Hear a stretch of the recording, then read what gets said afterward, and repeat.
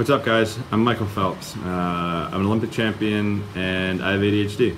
Uh, growing up, I, I, was somebody who was always constantly bouncing off the wall. I could never sit still.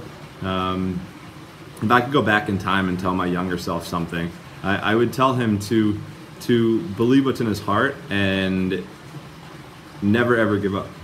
Um, you know, that's something that, that I've lived with my whole entire life and, and will continue to live with. Uh, it's been something that's changed my life um, since the beginning.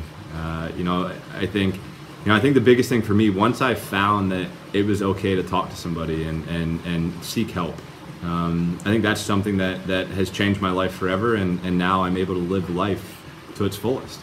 Um, I mean, I had kids who, you know, we were all in the same class, and teachers would treat them differently than they would treat me. Um, I had a teacher tell me that I would never amount to anything and I would never be successful. Um, so it was a challenge and it was a struggle, but for me, it was something I'm thankful happened, and, and I'm thankful that I am how I am.